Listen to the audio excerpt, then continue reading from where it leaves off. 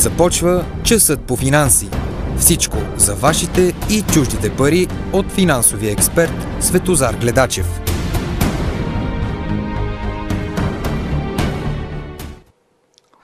Здравейте! Започва часа по финанси с мен Светозар Гледачев. Сега, днескашната основна тема ще бъде какво да правим с парите си в тези времена, където? В банките лихвата е близко до нулата, какво става с имотния пазар? И изобщо какво да правим с парите си, които повечето българи казват, че нямат, пък статистиката сочи друго. Така че, който има интерес към тази тема, нека да се настани удобно. След нея, с нея ще се занимая след малко. А сега искам да набързо да прехвърля основните економически и политически проблеми. Вече достатъчно дълго ме познавате и знаете, че аз прогнозирам нещата напред и искам винаги, това е мое така, желание, да прогнозирам напред това как ще стане, това как ще стане. И с това се гордея, че по пътя на сам ги смятах, може би имам над 600 предавания и нямам една грешна прогноза. И това може да се докаже и да се види в интернет. Така. Ще обобща някои от предвижданията за напред. Много често повтарям, извинявам се за което, но много хора не гледат всяко предаване и не могат да знаят това нещо, че от март месец се занимавам с корона кризата, смъртността и така нататък. И до тук отначало изглеждах странно, даже много ме гледаха ужасно, после почнаха да се съгласяват, после почнаха много се съгласиха, то пък сега става съвсем така. И на бъдеще ще видите, че съвсем ще се повтори модела, който ви описах още март месец. Българина много бързо забравя. Спомнете си как имаше ни, ни напускаха от град в град, точно преди миналия Велик ден и така нататък, никакви пътувания, на излизания, декларации, после проверки, наказания, глоби по 10 000 лева, включително има някои с условни присъди и така нататък и така нататък. Не ви ли направи а, впечатление, аз миналото предаване исках да говоря, че изведнъж страшно рязко от 1 февруари отвориха а, моловите и фитнесите. В целия свят, Германия, Великобритания и другите развити страни, мерките се затягат, тук се разпускат. Не е сложно да си го помислите. В предишните предавания ви казах, правителството управлява корона кризата. Тоест, то иска максимално да се възползва от нея. И то затяга и отпуска мерки така, както му е изгодно на него. Но не в паричен план, а заради изборите. И за това ви казах. Правителството ще направи всичко възможно на изборите Спомнете си колко дълго се колебаеха и топката се разтупваше между президента и премиера, защото единия ни казва кога е изборите, другите казват кажи, за да си могат да си направят стратегията. Това е истината. Участват едни специалисти, които на едни компютри изчисляват за а, как, кога ще стане заразимостта, кога ще стане пика и така нататък. На тях им трябва на изборите да има най-много карантинирани, най-много оплашени. Първо им трябва най-много оплашени, за да могат хората да не отидат да гласуват.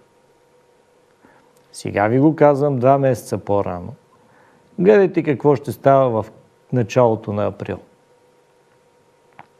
И медийната пропаганда какво ще говори. За това ви го казвам, за да не се плашите. Второ, когато има пик, ще има и най-много карантинирани. Те въпреки всичко, че карантинираните, ще са може би някъде около 85 хиляди човека, което не са чак толкова много. Но все пак влияят.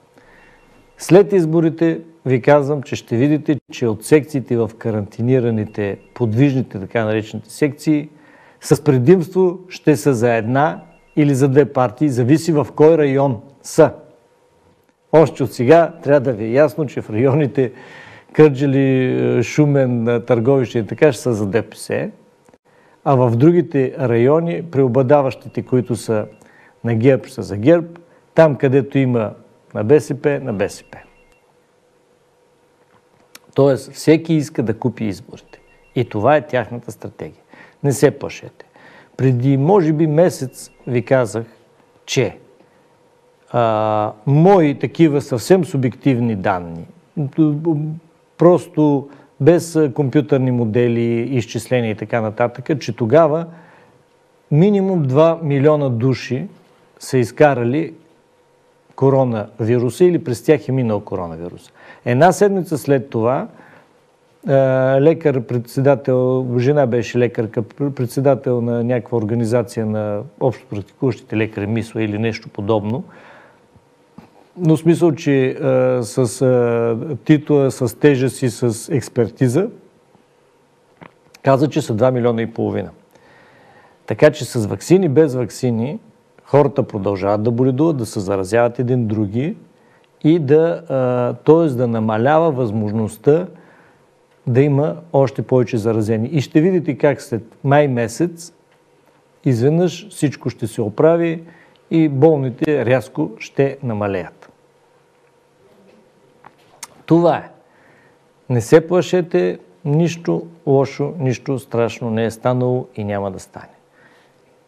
Другото, което искам да кажа за напред, е да знаете. С Великобритания всичко се замълча след Брекзита.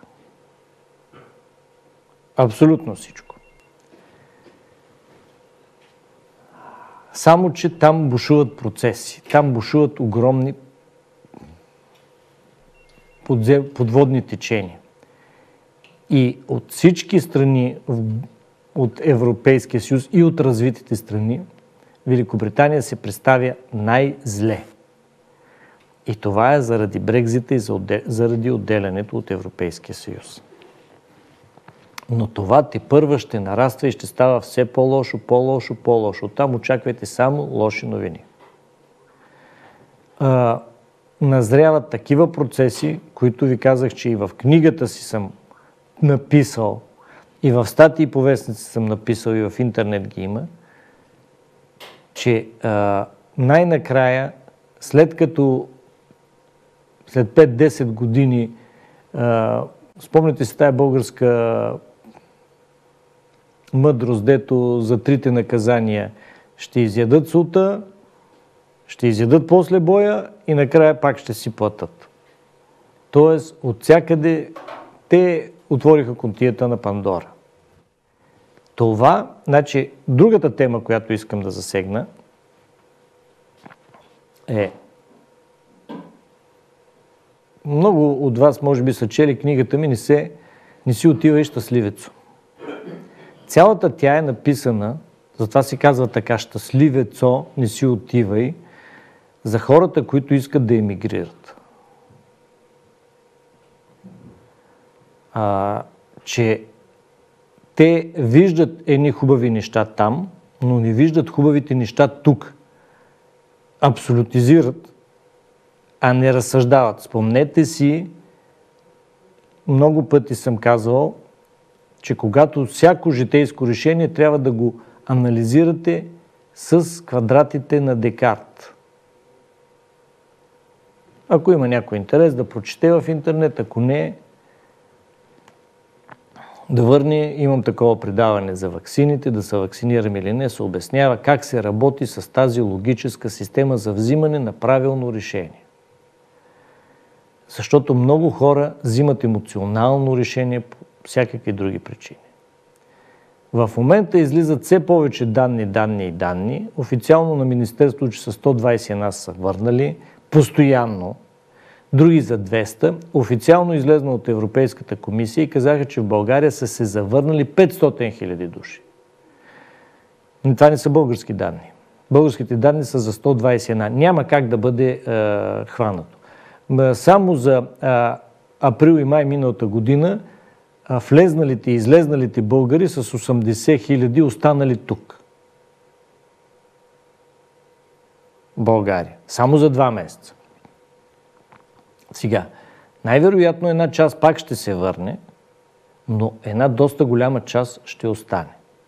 В момента селата се запълниха, се напълниха, т.е. върнаха се към живот много хора, защото а, не е толкова лошо, колкото си мислите.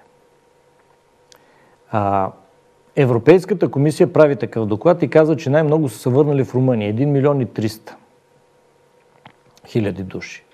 Във всички страни са се върнали много, много, много и много хора. И дават за Румъния, защото ние сме малка страна, пък Румъния е, генира емигранти много и то основно в Италия, понеже тяхните езици са романски са много близки и румънците по-лесно се оправят в Италия. При първоначалната старт на емиграцията заплатата, разликата в заплатите е била 5 пъти, сега е 3 пъти. От преди 20 години да вземем. Едно. И второ, ако се вземе стандарта на живот, найеми, хранителни продукти, услуги и така нататък, става един път или под един път. Тоест вече не е толкова изгодно да отиваш в чужбина. Това много хора не си го правят за сметка. Те в чужбина този анализ съм го правил много пъти и даже ми е, аз ви казах, има го цяла книга, има много написано в него как, защо и какво, кои са плюсовите, кои са минусите и какво се прави. Не това е целта. Просто да ви обясна, че колкото повече се покачва жизнения стандарт в България, толкова повече хората остават тук и нещо още по-добре. Идват хора от други държави. И за това съм имал предаване и ви казвам, София се напълни с чужденци, работещи от целия свят. Експат се казва. Но лично аз контактувам с такива фирми, където в София идват да работят от Германия, Япония, Штатите, това не е шега, Дания и други такива държави. Идват и остават тук. Аз контактувам с такива хора. Това не са българи. Това са чужденци. И идват и развиват бизнес. Но основно в София. Нали? Хубаво е да стане и в другите градове. Така че, по в тази книга, която ви казах, Не си отивай щастливецо, там съм казал, че 2023-2024, аз съм я писал 14 година, ще настъпни паритет, т.е. заминаващите и оставащите ще са, и връщащите ще са на едно и също ниво корона кризата направи така, че ускори този процес и сега вече е така. За по-запознатите, нека да попрочитат малко в интернет и да видят, че в много родопски и други малки общини в момента от една година, от март-април месец миналата година, се регистрират нови хора, които се връщат от чужбина – и те не търсят големите градове, които имат някой друг спестен лев. Така че има ръст в малките общини на ново регистрирани хора. И то това не е заради изборите. Да, моля. Здравейте, господин Глидачев. Здравейте. Точно това, което говорите в момента, искам нещо да запитам. А, Ална, лидерите на Демократична България, всеки си има, нека се остане за вас това нещо. Сега, от дълго време, постоянно се говори, че от България са напуснали милион, милион и половина, два милиона работят в Европа, това е голяма загуба за България, така, така, така. А, тия хора там работят, плащат данъци в техните държави. Техните държави се отчитат в Европейския съюз в вноска. Те пари от Европейския съюз идват пак в България – Три пъти повече сме получили, отколкото сме внесли ние в Европейския съюз. Е, ние като работим тук, нали си плащаме данъци, отиват в бюджета и от бюджета, разбира се, се разпределят по това. Не е ли едно и също? Точно по това, което с вас искам да ви попитам. Така, добре. Разбрахте ли ма? Разбрах, да. А, сега, по принцип не е едно и също, по простата причина, че данъците в България са много ниски, а там са много високи. Първо. А, значи, с, да сравним само данък печалба, вие знаете 10%, а в Франция е над 54%, а в, а в другите страни около 30% средно. Само данък печалба и данък доходи, а отделно другите данъци като ДДС и така нататък. Да, има, значи това се казва управление на парични потоци и е точно така. А, а, те идват тези пари по други а, начини. Но най-ценното на иммиграцията е това, че тази иммиграция не е добра. Но, впрочем, и тя е относително добра. Тоест, хората на ниско квалифицирания труд тук не са добре заплатени. И няма как. И те като не могат нищо, кмот, най-физическа работа в чужбина, същата я правят за два пъти повече пари и така нататък. Или три пъти повече пари. За тях това е много изгодно. Тези, които тук са на минимална или по-минимална работна заплата. Но по-важното е другото, че много българи, с които аз контактувам и познавам, и много такива има други, които са сто пъти повече, които не познавам и нямам даже и представа, с цифрите говорят друго, а, ходят, учат по университети, в научни институти и така нататък и така нататък. И после, след 10-20 години работа в чужбина, е, когато вече ти си се изградил, вече си се доказал, ти се връщаш тук и допринасяш повече за ползо рода, т.е. за другите, защото вече парите не те интересуват, защото си надмогнал това нещо. Много примери мога да ви дам. И ако се огледате около вас, ще видите хора, връщащи се от Штатите, от Великобритания. От Великобритания имам хора, които са с пари, върнаха се тук и си живеят прекрасно. И не само това. В момента всичките мои познати от а, между 25 и 35 години, които завършиха в чужбина и са тук в България. И работят в западни фирми, и работят в лондонското сити, в нью-йоркската Уолл Стрит, но работят от тук. Особено това, а, коронавируса и дистанционното а, работата онлайн, от къщи. И сега се изпълни това нещо, което е голяма мъка на емигранта. Ти си си вкъщи, пък получаваш доходите си от чужбина. Така че ето ги положителните неща на коронавируса и а, искам това да запомните от мене, много пъти съм го повтарял. Нито едно човешко действие няма само положителни или само отрицателни последствия. То има и двете. Така че корона кризата, това е хубавата част от нещата. През уикенда говорих с един млад човек на 30 кол години, завършил Шотландия и така нататък. Работи за Водафон Англия. Ма си е тук. И се получава заплата. Както и в Барселона, както и в Штати. Много такива. Казвам ви много. Просто не се движите в тези среди, за да видите, че е, те са най-добрата реклама за България, защото те не знаят нашите политически и други боричкания намират страната ни за добра. Аз ви казах, че лошото е, че основно са в София. И остават тук, пишат на приятели и те да идват. И това прави България на световната сцена. Размяната на идеи, на практики, на всичко, на всичко, на всичко. Ето за това економиките трябва да са отворни. Ето за това верният път е глобализацията.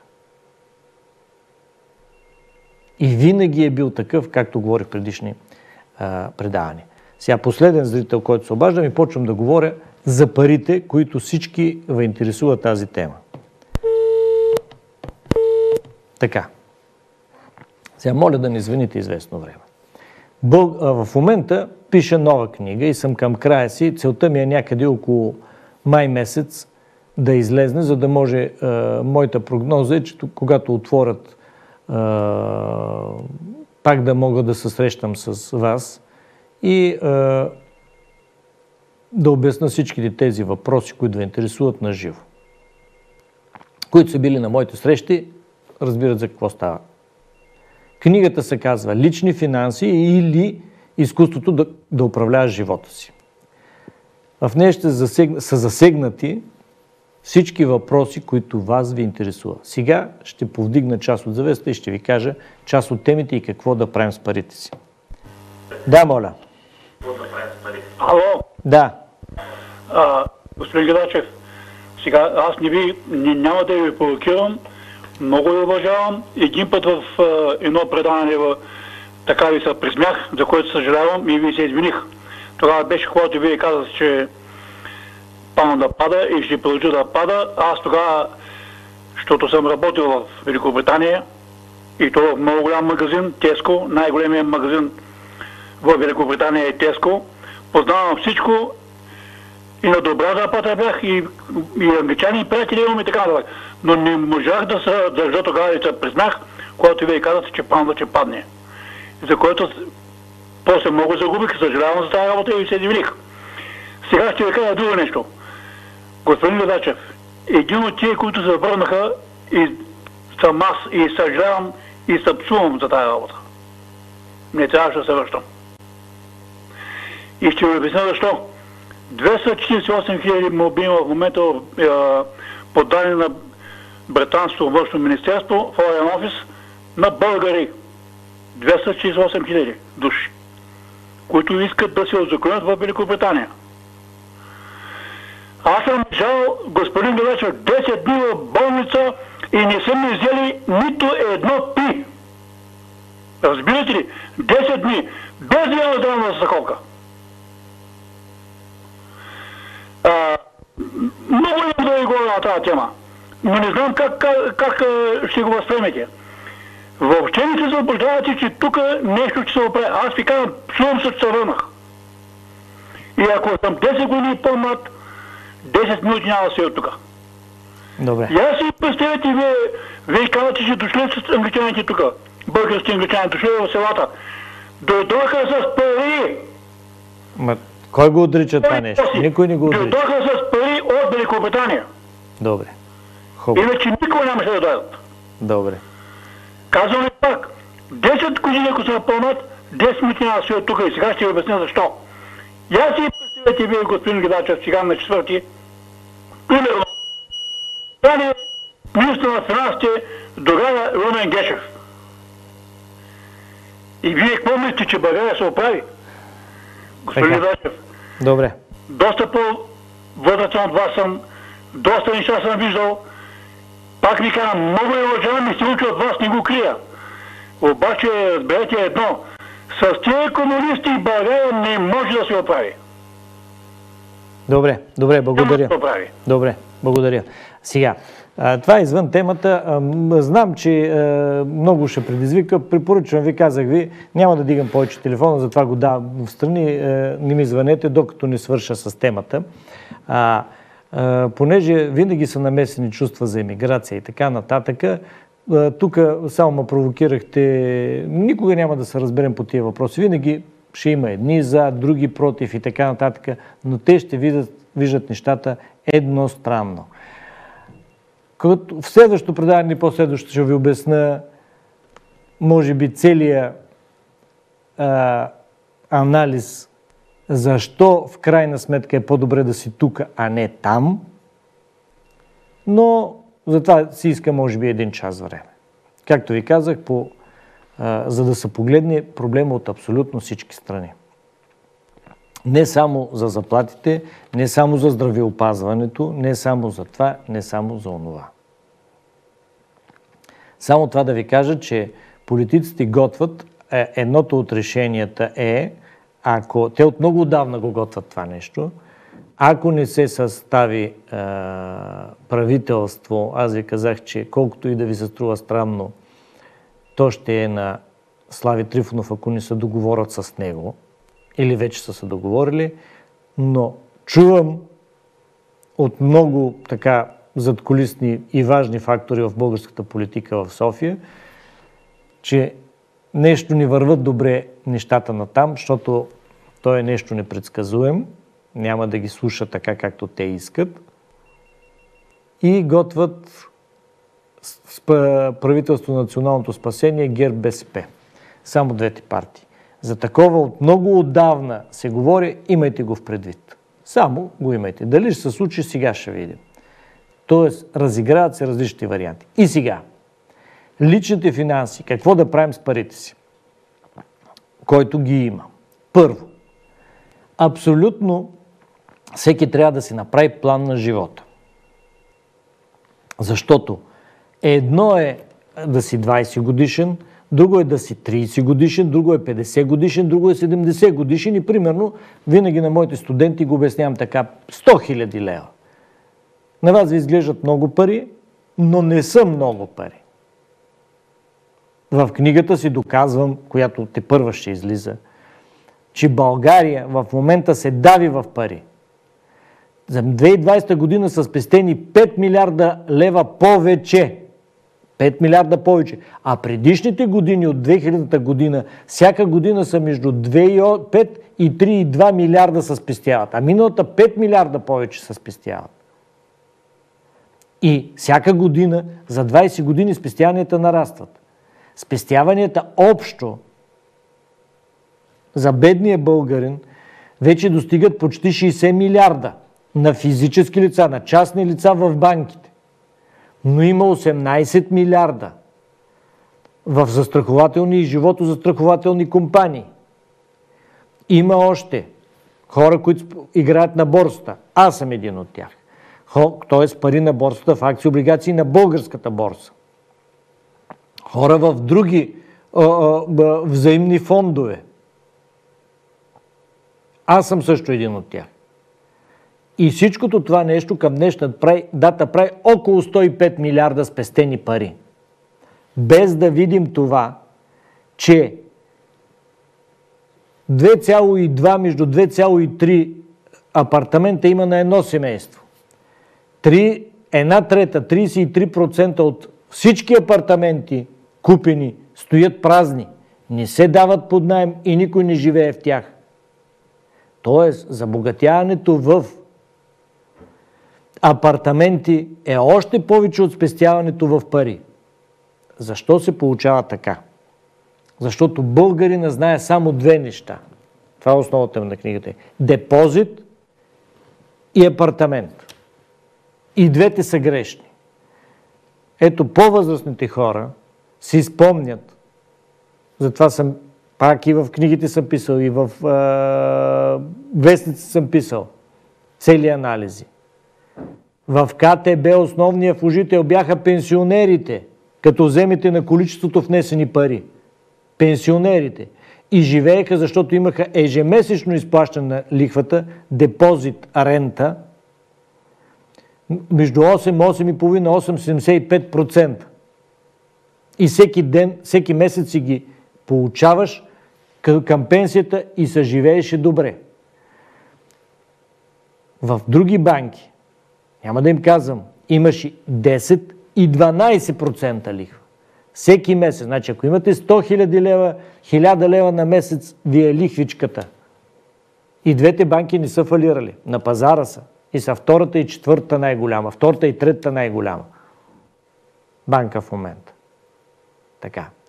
Само, че от лихви по депозити, откакто съществува банковата система, не може да се живее. Само в определени отрязъци от време лихвите по депозитите са по-високи от инфлацията, какъвто беше периода 2008-2014, т.е. 2009-2014 година. Който направил пари, тогава направил. Оттам нататъка всички пари в банките губите от инфлацията. Инфлацията се движи средно годишно, тя ту се увеличава, ту се намаля между 2,5 и 3,5%. Смятайте, средно 3%. Средните лихви по всички депозити в България е 0,11%. 11 на 1000. 11 на 1000. Най-високата към момента възможна някаква лихва за 3 годишен депозит е 0,4, а инфлацията е повече.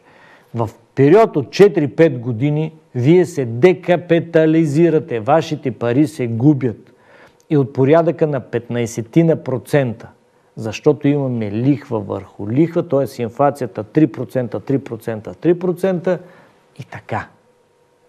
Имаме периоди и на дефлация. За какво ви го обяснявам това нещо? Защото хората не знаят какво да правят парите си. Един от основните ми изводи на книгата е, че пари много, българина се мисли за умен и знаеш, но не знае какво да прави с парите си. Не, няма финансови умения. И това е най-голямата загуба, която може да имат в България. Защото ако знаеше, тези пари щяха да станат, да, да носят доход 105 милиарда само в парични активи. Знаете ли, че а, това ще да носи доход на населението между 10 и 12 милиарда на година лихва? Минимум. А то знаете ли колко носи? Под 1 милиард. Знаете ли, че в уния години депозитите носиха 3 милиарда лихва, в момента са около 300 милиона ли колко. И отделно те тогава въведаха и данък върху лихвата 8%. И така. За какво ви разправям това нещо? Другото е с недвижимата собственост. Истината не е нито в депозита, нито в недвижимата собственост. Недвижимата собственост ще има балон, за него съм говорил много, той в момента се е надул в България изобщо недвижимата собственост се движи на скокове. Нека в книгата го има този анализ, но и го има и в интернет, където ви казвам, че цените на имотите, Пловдив център, взимам един пример, ви казвам, 2008-2009 бяха 1400-1450 до 1500 евро. След което паднаха, кривата, представете си, падна до 650, максимум 700 евро. И 2017 година почнаха пак да се дигат, но въпреки всичко не се е стигнало до тези цени. Стигна 1100 там някъде. Тоест, всеки, който е инвестирал в имот 2005-2009 година – не само, че до сега не си е върнал парите, не си е, а си ги е загубил, декапитализирал се е с 30%. В анализа вътре ще го видите след време, пише между 50 и 100 хиляди лева е загубил всеки. А ако е теглил кредит, още повече. Още повече. Тук ви давам пример, че в, за същия период, 2017-2020 година, в Германия жилища са имали 2017 година 46,4%, а 2020 година 44,2%. Тоест, защо в богатата Германия хората си продават къщите, между другото, и емигрират германците към такива страни, след англичаните като западни европейци, германците с най-много като диаспора в България – това да ви обясна. Тъпите и прости германци, деца много развити, защо си продават там апартаментите, а в България апартаментите се увеличават? Това няма ли да нагрее нещата изведнъж да стане срив, спад, балон, да се спука? Ще се спука. Аз участвам на този пазар, играя срещу този пазар и чакам изгодното време да направя точно определени сделки. Повечето хора не ги разбират тези неща. Те гледат имота в 80% от случаите е загуба. Това да знаете. Не е инвестиция, която да ви носи доход. По-подробно на над 250 страници съм развил всичките тези неща. Добре, какво да правим с парите си? Долара пада от 1,8 и нещо, той падна на 1,60 и под 60, 59, сега леко се дига. Той се вдига малко. Какво да правим с парите си тогава? Аз ви казах, 105 милиарда стоят ето ей така. Първо, решили ли сте долари или евро? Или левове? Вие не знаете. Второ, откакто съществува, всичкото това е обяснено. Аз само набързо обяснявам, набързо прехвърлям някои от нещата. Всичко това е обяснено в тази книга. Който иска, това е пълен анализ от до на всички проблеми. След 1976 година, тогава е Ямайска валутна конференция. Тя е направена след кризите 71-73 и срива, т.е. срива на финансовите пазари поради петролните шокове. Може би сте чули, тогава по-възрастните помнат, но и аз съм бил дете и си спомням, че съм виждал по телевизията как американци и европейци не могат да си карат колите, защото цената на бензина, примерно, се качила много, особено американците, които пак тяхните коли, коли горяха по 20, 30 и 40 литра на 100 км. Тях петрола не ги засягаше. Затова тогава американците помбираха своите кладенци, направиха една политика и тази валутна криза, валутно-финансова криза, доведе до това. Ямайска валутна конференция, в която вече долара, тогава световни пари, не е обезпечен с злато, както и никои други валути. До тогава, ето големия проблем на нас българите е, че повечето хора разсъждават с мащабите, с мерките от онази епоха, където спестените пари трябва да нарастват. А това е било само когато е имало злато. Златно покритие и златните пари. Но 86-та година всичко свърши. Дойде системата на плаващите валутни курсове. На парите, които в момента държите, не пише както преди това, обезпечено с злато и всички активи на банката. Нищо не пише, че е обезпечени. Тези пари, които държим, с нищо не са обезпечени. Не само в България, в света. Те се държат на курса им се дължи на това, на търсенето и предлагането в световен план. т.е. на стихийни пазарни сили. Т.е. те нямат собствена стойност. И за това могат американци, Европейската централна банка, японци и други да печатат кой колкото си иска пари и да ги пуска и да ги въднаводни. Това е друга система, и друг въпрос. Какво ще стане? Ще се разгори ли от тук хиперинфлация и няма ли да загубим парите си? Това е много сложен въпрос и еднозначно решение към момента няма. Много економисти от най-големите в света казват, че фактически нивата на дълга могат да вече да станат до безкрайност. Милтън Фридман, за по-запознати, който е чума, общо взето света се управлява по неговата доктрина, монетаризъм се казва. Значи, за да обясна за тези, които не са го чували, че в началото е бил Адам Смит, Дейвид Рикардо. Те са дали началото на економиката и тези процеси. След това смята Маркс като всеобщ авторитет в економиката. След това а,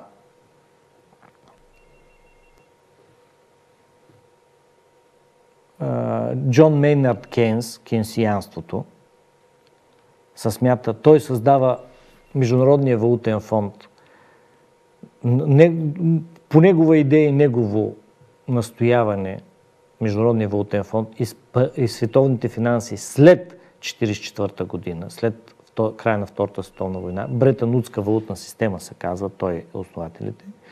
И тогава Мейнард Кейнс, а, Джон Мейнард а, Кейнс е той, а, за да стигнем до а, съвременния вариант на тачеризъм, политическа, економическа политика на Маргарет Тачър и Рейган. Точно базирана на монетаризма. И този човек казва, че трябва да има хеликоптерни пари. Това е за много запознатите, за много най-високата топка в, в финансите. Хеликоптерните пари да се хвърлят пари е така в обществото, за да се изгладят дисбалансите за един кратък период. Дори в момента, точно сутринта го четах, че видни 100 економисти подписват към Европейския съюз молба да се а, изчистят всички задължения на страните, защото с коронавируса те са направили много задължения, което е тотална глупост и разбиване на световните финанси. Тоест, искам да ви обясня. Ако не сте разбрали от цялата тази, цялото това изложение нещо, е, че в момента ври кипи в финансите и не се знае към кой път ще завие света. Но ще има големи финансови катаклизми. По-малки или по-големи, но ще има. Ще видим какво са ни приготвили. Ще видим какво са ни приготвили. Какво обаче да правим с парите си? Защо ви го казвам? Защо? За това, за да знаете, че след 1976 година парите не трябва да стоят на едно място. Трябва да се движат постоянно. Вие трябва да ги управлявате. Ако не ги управлявате, вие ги губите. Вие ги губите. Моля ви, не звънете. Така. Как да си управляваме парите? В България само 3,7% от населението ги държи в друго, освен депозит и апартамент. В Западна Европа, в Европейския съюз, има се предвид целият Европейски съюз, е 26,6%. А в развитите страни над 40%. Сега, управлявате ли си парите, вие ще спечелите. Не ги ли управлявате, отделите ги ги е така да спестявате, вие ще губите. И това е целта на политиците. На българските и световните. Значи българските са тук са капка вода в морето. Те нямат влияние на тези процеси. Така. За хората, които не знаят, искам да обясна, че какво значи да управляваш парите си? Трябва да учите и да четете. Е, затова седнах и написах тая книга, защото аз това го преподавам повече от 12 години в Полиския университет.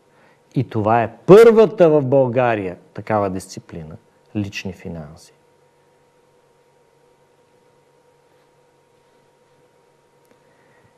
И тук в много по моите теми по телевизията съм ги засягал. Та, трябва първо да, си, да, да добиете достатъчно знание, защото който не знае, винаги губи. Не участвайте в игра, която, която не знаете нито правилата, нито законите. Така. Какво иде реч? Да участвате на борсата. Знаете ли, че акциите на Джеф Безос, Амазон, от 97 година, т.е. за 20, мисля, че 97 година излиза на борста или около 2000-та, за 20 и няколко години са се увеличили 84 000 пъти. В книгата има изчисление, където 1000 долара инвестиране тогава се явяват на между 2,5-3,5 милиона сега. Нещо такова, примерно. Сега, как да откриете такива работи? Много има. В... Не са една и две акции. Знаете ли, че на Уолл Стрит всички индекси, това са Dow Jones, дето сте чували, S&P 500, NASDAQ, основните, растат с големи скорости. Чак заплашително. Тоест, който има акции, печели и то печели в цялата тая миналата година, 2020, печели от порядъка на 40, 50, 80, 300%. Не искате ли вие да печелите? Как става това? Има консервативни, пасивни начини, има и активни начини. Консервативният начин да си ги дадеш на фонд. Има взаимни фондове, има ETF фондове. Това са борсо търгувани фондове. Повечето хора не знаят какво е това. Но, само другото ще ви кажа. S&P 500 обхваща 500-те най-големи американски предприятия в света. Не в света, в Америка, извинявам се. От основаването си до сега, изчисляването, за повече от 60 години, средната доходност е 10,9, приблизително 11%. Значи тогава е имало. Казах ви, първия, първи, втори петролен шок, после а, а, падане на студената, а, падане на желязната завеса, приключване на студената вода, катаклизми нагоре-надолу. Отклонява се до минус 37 надолу, но до плюс 37 на другата година нагоре, 38. Но във всичките тия години, ги го оставиш, имаш 11%. А реално, като се извади инфлацията, 8,7%. Ето това го интересува българина, някакъв консервативен портфел се каза, консервативно инвестиране на парите. В момента S&P 500, ако го бяхте от две години, сега щяхте да си удвоите парите. 10 хиляди, 20 хиляди щяхте да имате. Така. Тоест. И вие ще кажете ми как да го направим това. Ами питайте. Или се научете. Не само, че не е рисково. Вие си помислете. Дали ще фарлира най-големите американски компании? Ми, че ако фалират те, ще фалира Америка. Ако фалира Америка, ще фалира света тогава няма да има никаква нужда от пари. Тоест и тук да са в някоя банка или под някой душек, пак ще фалирате. Тоест, изредил съм хиляди доказателства, в които обяснявам, че трябва и е хубаво да се инвестира. Иначе няма да печелите, а винаги, а винаги ще губите. Винаги. Така. Нещо друго. Вие знаете ли на българската борса за миналата година има 20 такива фонда, а те са общо над 100, които имат положителна доходност между най-високия 18, и нещо процента. Значи за миналата година вкарваш си парите в този фонд и имаш 18, и нещо процента, а най-зле представили се е 3,5%. Повече ли е от 0,1? Забравих да ви кажа, че от 1 юни 2020 година основният лихвен процент в България е 0,00%. И от тогава, и малко преди това, на една, а вече може би и на няколко банки, лихвите са 0,00. В света знаете ли, че в Германия са отрицателни лихвите, в Дания са отрицателни лихвите, но те са отрицателни и в Швейцария. Т.е. даваш пари и ти взимат пари. Не ти дават лихва. Предполага се, че и тук ще стане така. Затова ви го обяснявам. За да се размърдате малко мозъците и да се загрижите за парите си. Иначе инфлацията ще ви ги изяде. В Дания имаше от лятото даваха кредит за жилище 10 годишен на минус 0,5%. Тоест ти не плащаш лихва, те ти дават лихва. Само, че лихвеният процент по депозите е минус 0,75. Тоест, губят не банката, банката печели. Губят спестителите. Но от преди един месец, месец и нещо, пак в Дания вече има 20 годишни и 30 годишни кредитни линии за покупка на имот. С минус. Така. Това нещо в момента в Германия а, и беше, а, има законопроект за, той беше още лятото, за отрицателни лихви законово, но го обжалваха и той в съда, той е прият, обжалва се, защото не може да се разбере дали за сегашните, дали за предишните или само за новите депозити да са тези отрицателни лихви. Но отрицателни лихви ще има. Така. Връщаме се тук. Дал съм система на инвестиции в страшно. Моля ви, не звънете.